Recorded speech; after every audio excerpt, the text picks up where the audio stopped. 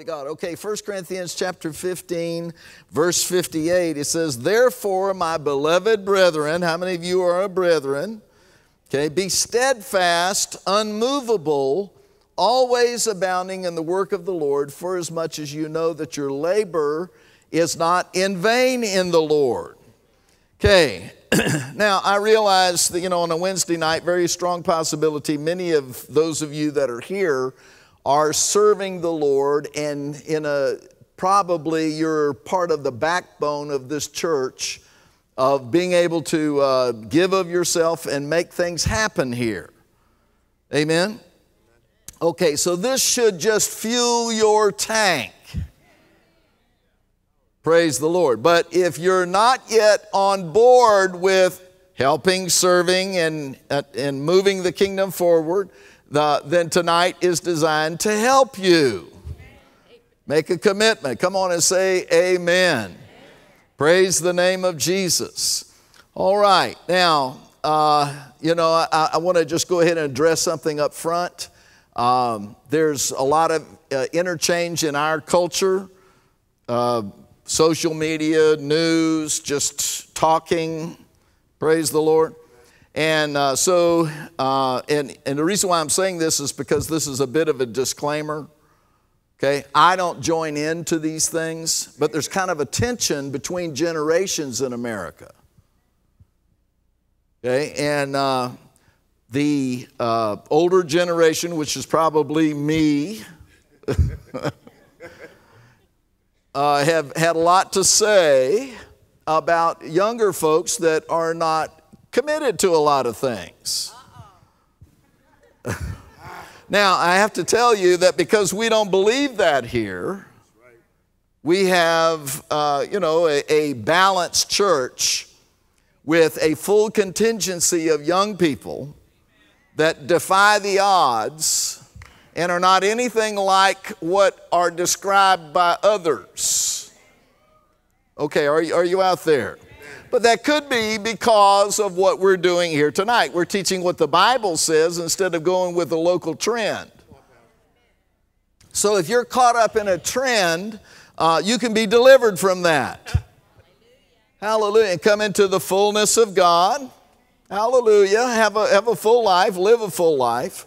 Okay, and so I believe in Jesus' name, by the time we get done with this tonight, you're going to want to be a committed person. Okay, so go with me over to the book of Revelation, chapter 3. Hallelujah.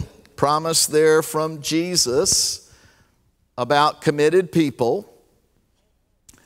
Verse 12, we're starting out here talking about commitment to the kingdom, but there's more to commitment than commitment to the kingdom, which we'll, the last one is probably the thorniest that we'll cover tonight. Okay, Revel, Revelation chapter 3, look at verse 12. It says, Him that overcometh will I make a pillar in the temple of my God. Now stop a minute, a minute and think about what a pillar is. A pillar doesn't move. Right. The entire reason why you have pillars is so they won't move. So they'll hold things up. Yeah. So, what Jesus is talking about is people in the church that, because of their steadfastness and their commitment, resultingly end up holding up things in the kingdom. You know, like these pillars actually hold the entire roof up in this building. Praise the Lord. God is good. Okay, so I will make him a pillar in the temple of my God, and he shall go no more out. There you go. And I will write, upon him the name of my God and the name of the city of my God, which is New Jerusalem, which comes down out of heaven from my God, and I will write upon him my new name. Now, that just sounds like something that I want. You know, we're talking about future, long term. I, I like future, long term. How about you?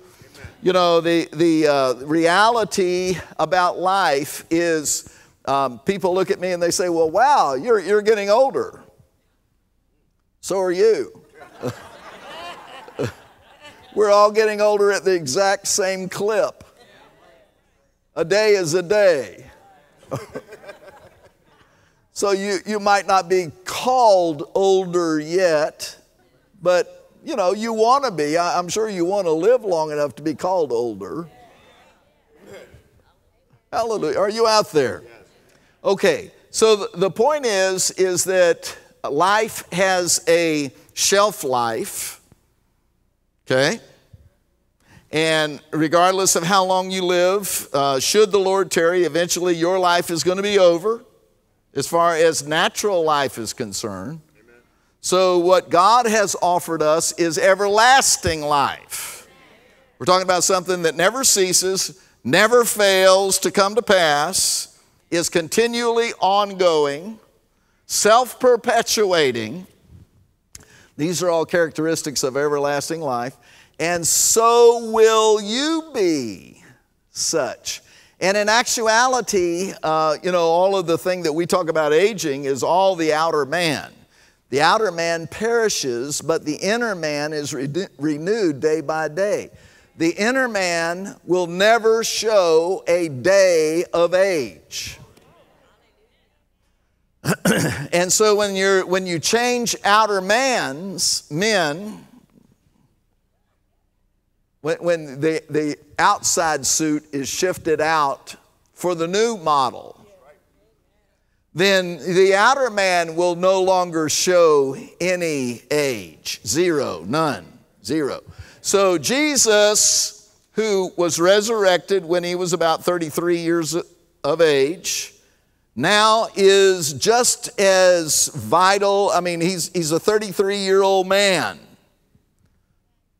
filled with the life of God. Now, just a little bit about resurrection. Resurrection is not the same thing as being raised from the dead. You know, people in the New Testament, Jesus raised Lazarus from the dead, and other people raised people from the dead, but then they died again. Lazarus is not alive today. That's the difference between being raised from the dead and being resurrected. See, Jesus is still alive. So there's something about resurrection life and that new body that is self perpetuating. It just goes and goes and goes and will never stop. Now, I don't know about you, but that's what I got my heart set on. Amen. Are, are, you there? So, I personally, years ago, I decided, you know what? I don't have any pro- I have a problem with making commitments. And I just want to make sure that what I'm committing myself to is worth it. Worth my time, worth my effort, worth my commitment. I found out right from the beginning that the kingdom of God is worth your time and your effort and everything that you put into it because it's the only thing that will last throughout eternity. You know, the United States of America is going to go away. The earth is going to be renovated. All of these things that you know will eventually pass away and change. Your, your physical body, all of these things have a temporal nature to them. But the kingdom of God is eternal and forever.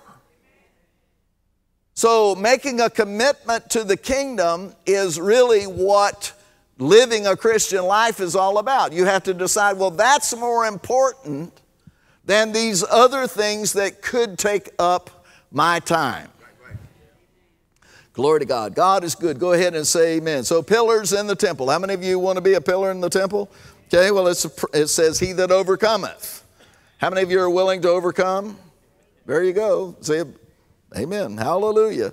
Go with me uh, back over to uh, 2 Timothy. We're going to look at the downside of this. Praise the Lord. Sometimes people don't commit, they don't hold on to the things of God. Are you out there tonight? 2 Timothy chapter 4, look at verse 10. The Apostle Paul, if you read 2 Timothy, it's, it's really like the Apostle Paul's sign off letter. Okay? And uh, so he knew that he was coming to the end of his tenure, so to speak, but he wasn't upset about it. He said, You know, I've finished my course, I've run the race, I've kept the faith. Amen. Now, in, at the end of his letters, he and Peter and others had a tendency to sort of catch up on hometown business. You know, would, would you tell brother so and so to stop picking on sister so and so? And don't forget to bring my, my books when you come and things like that. Are, are you there? Okay, so this is kind of like kingdom housekeeping. Amen. Are you there? All right, so the, this is just in mention. The Apostle Paul said, uh, verse 9, he says, uh, Do your diligence to come shortly unto me, for Demas, there's no, no mention anywhere else about Demas. Okay, but Demas has forsaken me, having loved this present world. Wow. Having loved this present world. Amen. Now, let's stop for a minute and just talk about the world. You know, people, everybody has to deal with the world. When I first got saved, the world was a thing to be shunned. Okay, and wow, you know, I, I barely got out of it. The way I looked at it is I could still smell the smoke. You know what I'm talking about? I, my, my, my, clothes might have even still been smoking. I don't know. But I was so glad to be free from the world. There's no way, no way I'm even going to ever get close to that. So, but, but that was me. You know, not everybody's like that. Some people get saved and they kind of hang between two. You know, they're kind of in the kingdom until somebody steps on their toe or does something they don't like, and then they kind of shift over to the world. And then they go back and forth like this, in and out, in and out, in and out. Hallelujah. Okay, well, you need to understand not every believer is like that. I'm not like that. I have never done that in my Christian life. I don't go in and out. I don't have lapses in service. And I, I don't believe that it's, it's you know, it, like some kind of a big supernatural thing about me. I've just decided. I already found out what the world was like, so why would I want to go back to the world? You got to be kidding. Amen. Are you there? Okay. So every believer has to make commitments. No, number one commitment actually is to the Lord Jesus Christ and the kingdom, okay? And to forsake the world. Now, here, this Demas character, you know, he obviously did not forsake the world. Because the Apostle Paul says, you know, well, he's, he's gone back. Okay?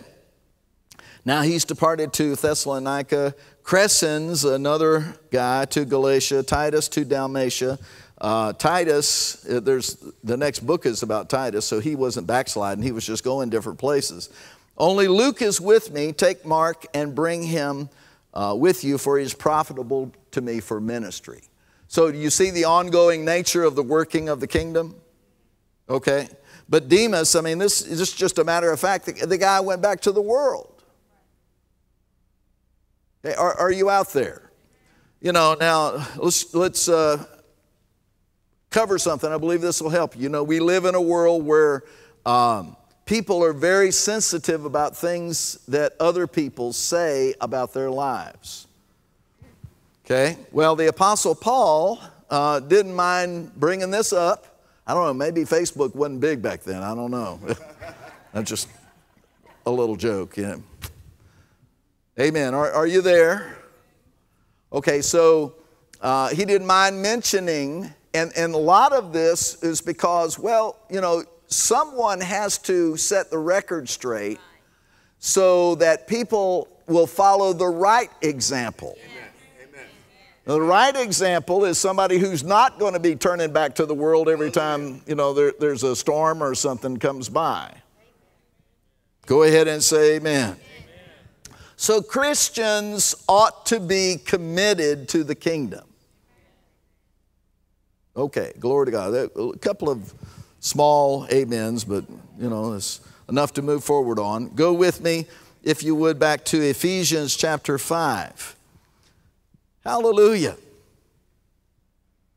Okay, so while you're turning there, uh, got some things to say to you outright. This is for every believer, okay? It's, it's not just like, it's not picking on anybody. It's like that old saying if the shoe fits, wear it.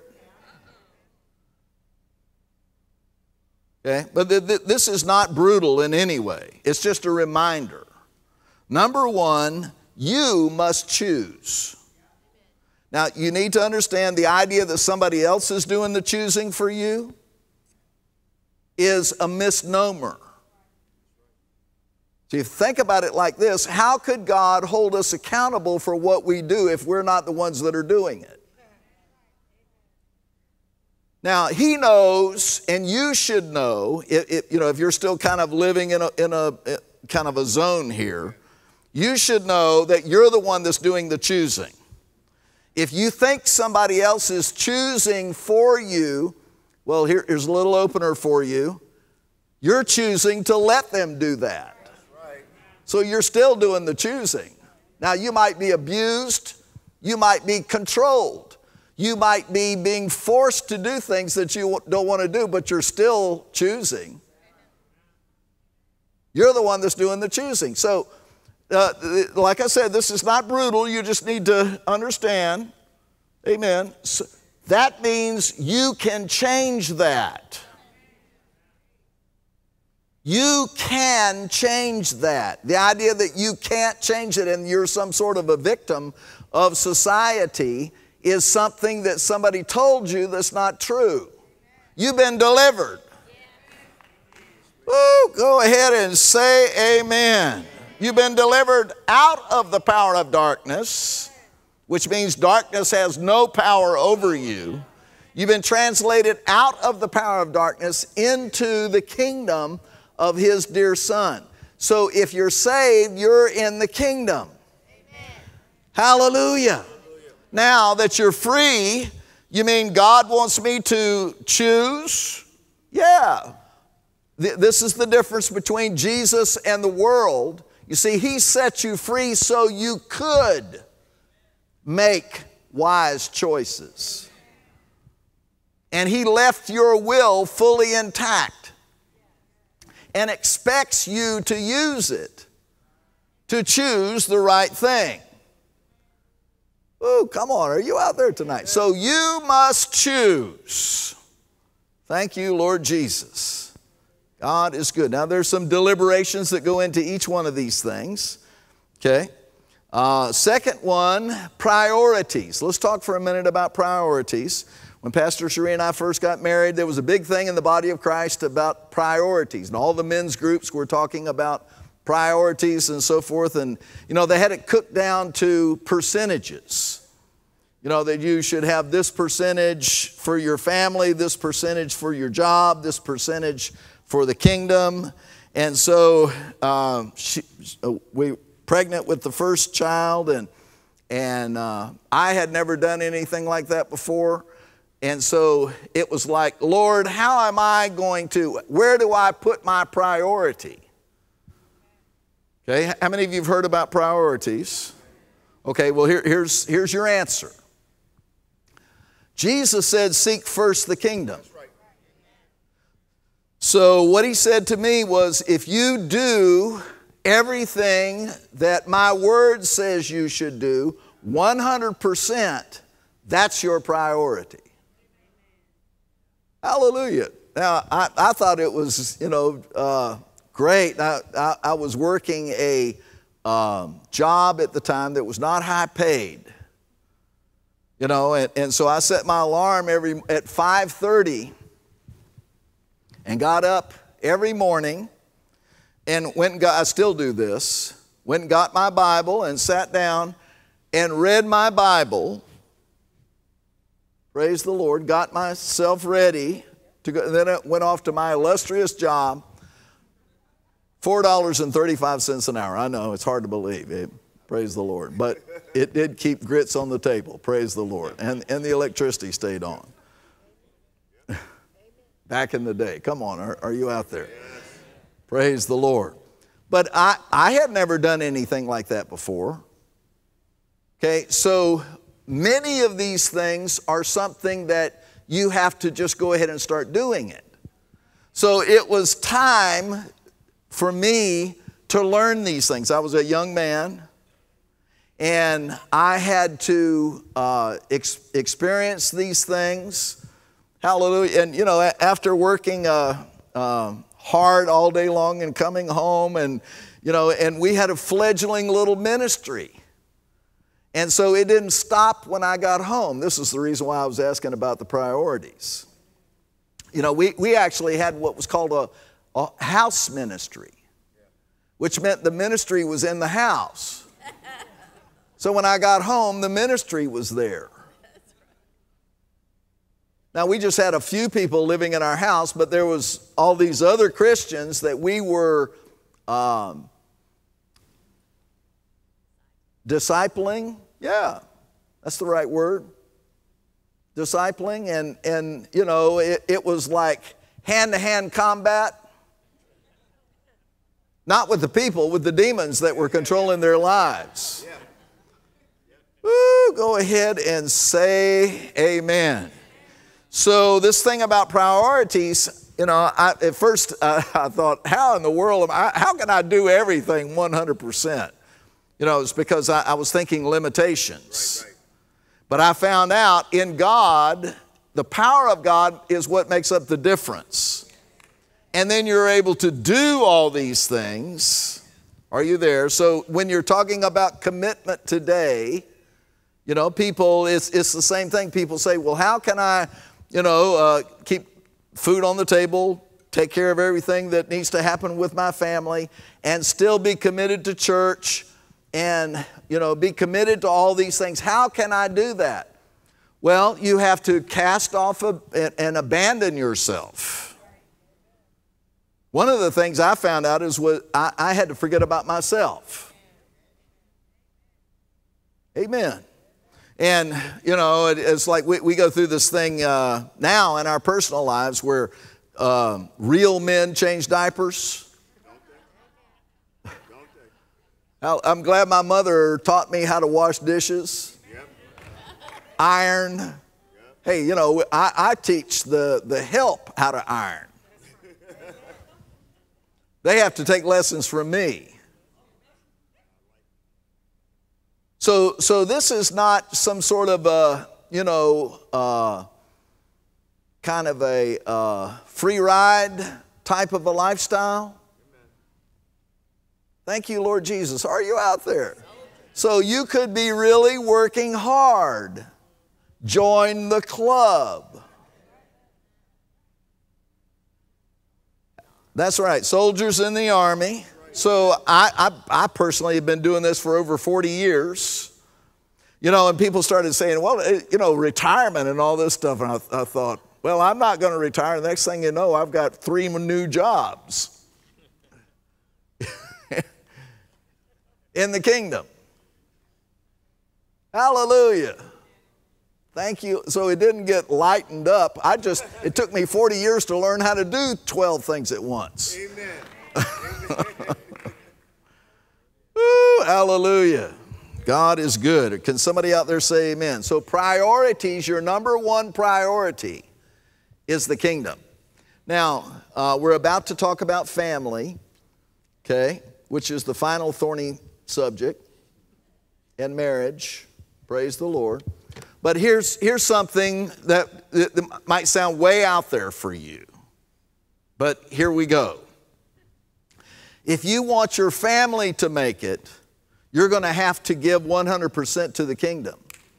Because if, if you let your family dominate you and your time and, and, and they get the best of you, what you're actually doing is setting them all up for failure. The devil I believe that, that you have something on your life from God. If you take what He put on you and focus only on them, you're going to kill them. The devil will make sure that you never get through with problems. So, when it comes to priorities, you have to forcefully shift away from yourself. And, and actually, forgive me, this is a little blunt, but family is self serving.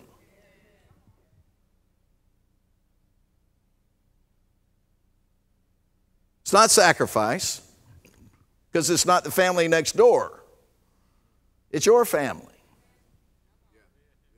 Lord, bless me and my wife, my son John and his wife, us four and no more.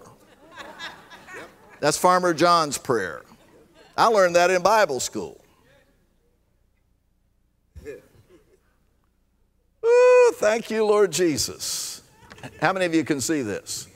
Okay, so that, that's what happens, and, and many people don't know this, but if you allow yourself to get distracted, whatever it is that gets your attention is the thing that you're going to destroy wow. with your attention.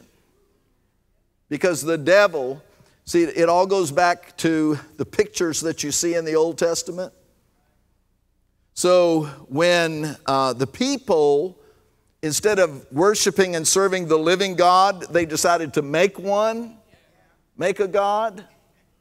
Okay, and so then they, they thought, oh, well, we just have a little shrine here. I mean, it's, you know, uh, and th- th- this was their thinking. Okay, well, God told them, well, here, here's what's actually happening. When you're worshiping that idol, you're actually worshiping a demon. So, what he was saying is the devil superimposes himself on the thing that has your attention so that you end up worshiping him with your attention. You didn't know that? Glad you came to church tonight.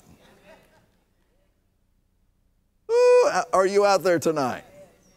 So you have to keep your focus on the kingdom. Go ahead and say amen. Hallelujah. Okay, so Ephesians chapter 5, the last one here, here's an example. When you read this chapter, there's a big temptation to only focus on the family part. Okay, but as he talks about marriage, he's actually using the covenant of marriage as an example for the new covenant. It's a type. You act like you didn't know that. Look at Ephesians chapter 5, verse 21. He says, Submitting yourselves one to another in the fear of God. That's just generally church life. And then he says, verse 22, narrowing it down to the families Wives, submit yourself to your own husbands as unto the Lord. That's popular today. For the husband is the head of the wife, even as, the, as Christ is the head of the church and is the Savior of the body. That's even more popular. Are you there? Yes. Therefore, as the church is subject to Christ, so let the wives be the, to their own husbands and everything. Now, let's just, for, for a moment, let's just drop the, the, the wedding, the marriage part, and look at what he's saying about the church.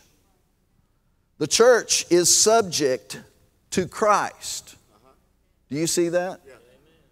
Now, many believers just look right over that, don't even see that. But that, that's what's called covenant language. Okay? So when you call him Lord,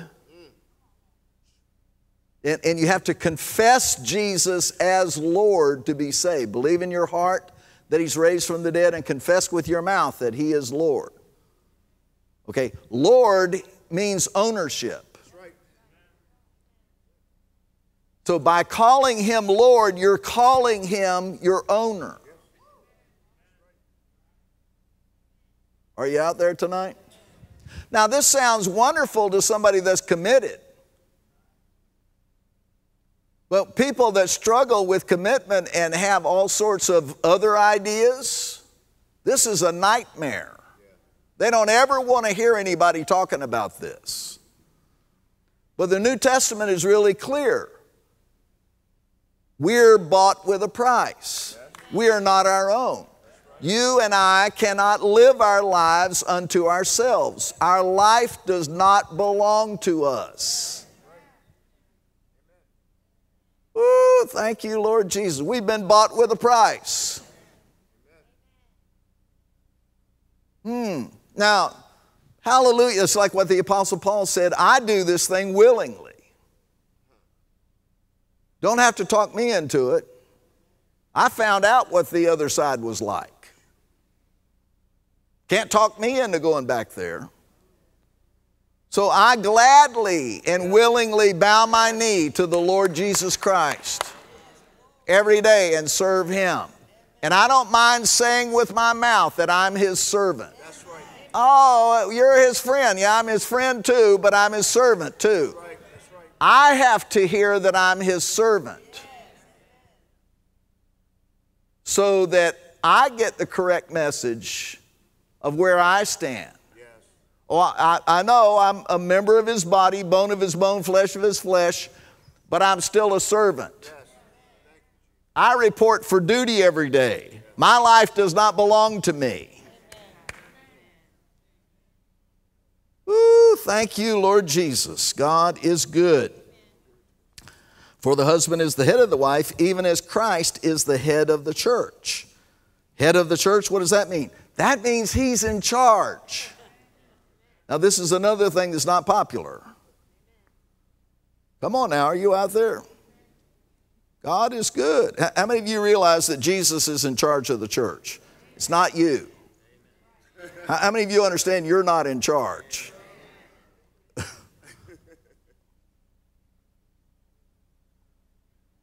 Thank you. Is it okay with you that Jesus is the head of the church? You see, see what we're doing here? This is actually building commitment. Because what you have to do is bring down all these barriers of thought that have been erected. Why do you think the people in the world are so uncommitted? Because all they live for is themselves. It's all about them. Everything is about them. They will never have peace. Not just simply because they're serving the devil, but, but they, they, they believe and think that they actually have freedom. Ooh, come on and say amen. Are you out there? Now, this is all just New Testament. Might have been a while since you've heard it, but this is all Bible truth. We're bought with a price. Lord, thorny subject. Glory to God. All right, so look at verse 25. Husbands, love your wives, even as Christ also loved the church and gave himself for it. All right, so Jesus is actually himself living for us. Okay?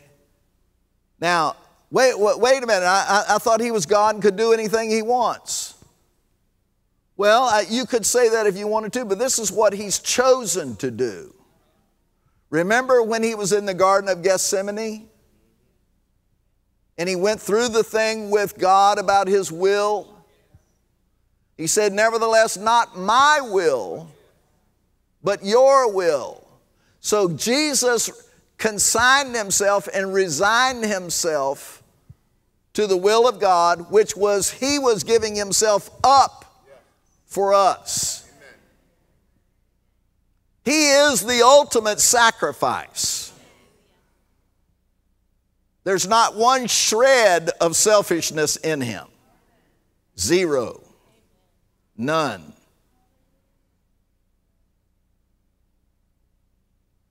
Ooh, thank you, Jesus. God is good. Somebody out there ought to say amen. Okay, hallelujah.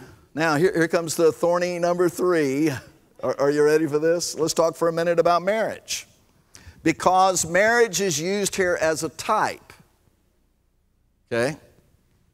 And he's kind of going back and forth between the new covenant and the marriage covenant because they're both blood covenants. Okay? So when people have, uh, and, and this is, you know, you can go just about every culture in the world and people swear a vow. Okay. Well, it might have been, they might have sworn this, you might have said, you know, said different words. But here's what you did not say. You did not say, I will do my part if you do your part. Have you ever heard a marriage vow like that? No. That's because it's not in there. Are you there? Now, that's called a unilateral vow, which means that your keeping of your vow is not contingent upon obedience on the other side. Amen. So you're bound to your vow even when they're not keeping theirs. Couple of exceptions death is one, fornication, adultery, the other one. But otherwise, when you swear a marriage vow, you're bound. Now, what are the similarities between that and the new covenant?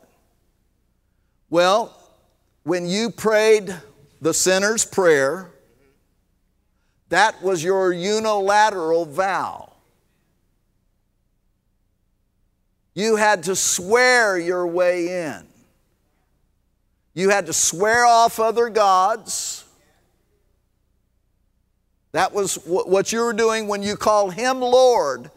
That means that he's the one that's in charge in your life. Ooh, thank you, Lord Jesus. God is good. Are you out there? Now, so uh, a couple of things about, well, how do I, on a practical level, how do I build commitment in my life? Okay, well, here just a couple of simple things. Um, Jesus said it. You're not going to like it, but I'm going to tell you anyway. He said, if your eye offends you, pluck it out. If your hand offends you, cut it off. Right? Okay, so what was he referring to? He was referring to covenant position. When you're in covenant with God and there's something in your life that stands as an alternate or an alternative, it's going to end up destroying you. So, people that get married and then stand around talking about divorce every time they get mad at each other are leaving an open door as an option to get out of the relationship called divorce. Teach, Pastor. Teach. As long as that option is there, they'll never be committed. Ooh, is this too blunt? Now, it was late one night. Uh, we uh, were having our, you know, the, the, we had been up all night talking. Praise the Lord. And the, the sun started coming up, the birds started tweeting. We're actually in somebody else's house. And, and the Lord said to me, He said, Well, if you're going to have peace, what you're going to have to do is close the door. Stop using the word divorce as an option. Close the door and, and accept what you've done you have been married. You are now married. Now, here we go. Are you ready? You are married to the Lord Jesus Christ. You're betrothed to Him. There will be a marriage supper of the Lamb in heaven after He takes you out of here. Come on now, are you there? Right now, the bride of Christ is being prepared for that ceremony. The spots and the wrinkles are being ironed out right here in this chapter. Ooh, thank you, Lord. Now, none of that happens without commitment. You see, this is the thing about commitment. If you're not committed, you will not allow yourself to be changed. Right. You're going to hold on to your old ways, your own ways, your, your own thoughts, because you're not committed. Well, it's just too blunt. If you want to have peace, you're going to have to make a commitment. You're going to have to make good on your commitment to the Lord, first of all. Hallelujah. He said, I am the way. Right? Are you out there? There's not more than one way. There's one way. His name is Jesus. Hallelujah. Now, this, this is one, this is warm and fuzzy on the inside of somebody who's already committed. You see, here, here's the bottom line. When people are not committed to church, they're also not committed to the kingdom. Now, they might tell you all kinds of things, but it's not true. Yeah, and it's right there in the New Testament. How can you say that you love God who you can't see when you don't love your brother who you can see? 1 John chapter 3. Amen. Thank you, Lord Jesus. Amen. God is good. Well, you're still here. Praise the Lord. God is good. Okay, commitment is not going to hurt you. Now, part of getting your mind renewed in today's world is accepting commitment. Because in today's world, people talk their way out of everything that requires something of them. Hallelujah. This is just a little fun. You want to have a little fun? Years ago, we had a contractor in the church, and uh, he was talking about hiring people to work for his company. And uh, he was talking about young people, young guys. This was almost 20 years ago, so it was a different young guys. Hallelujah. But he, he was saying, you know, he hires them, and they, they come to work and then he gives them something to do. He was like a, a contractor redoing houses. Okay? And so here, here's what their answer was Well, I showed up, and you want me to work too?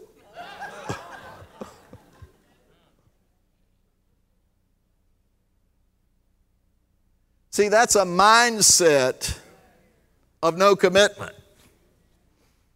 Hallelujah. Oh, thank God for His grace. Yeah, it's a true story. Uh, I don't remember the brother's name, but uh, he went to India with us a bunch of times. He's a good brother, real honest. Hallelujah. God is good. Okay, going to ask you to stand to your feet. Praise the name of Jesus. How many of you got something out of that? Amen. See, if you're committed, this soothes you. You go, wow, I don't feel so strange. Well, you're not strange. If you're committed, that's the way you're supposed to be. You know what it's called? It's called faithfulness. Now, faithfulness is not continuously doing a job to your, your, your work, your family, or your church. Faithfulness is to the Lord. So you don't run out on Him every time there's some new thing going on. Read, read the Old Testament. This is what they did. You know, every time they turned around, it was some new thing. Hallelujah. But there, there was a group that were committed. You know, I, I really love to read the Old Testament because those, those prophets, you know, when they were calling it what it was, do you realize how unpopular that was in their day? I mean, it's, a, it's amazing, a miracle that you would even have people that could think like that. Where did, where did they get that? Well, they got it from God. That's the way He is. Hallelujah. He's faithful. Thank you, Jesus. One of his characteristics. Hallelujah. He's committed. Thank you, Jesus. Hallelujah. Well, glory to God. Let's have a confession.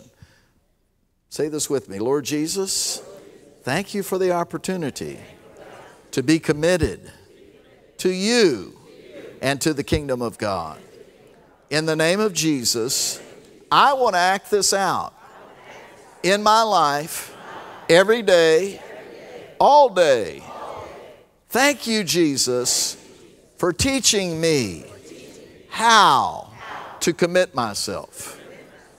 Thank you, Father, for your characteristics loving kindness, mercy, gentleness, faithfulness.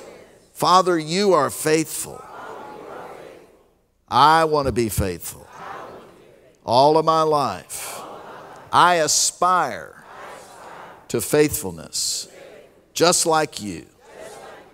I want to be just like you in all of my actions, my thoughts, my words. In Jesus' name, amen. Hallelujah.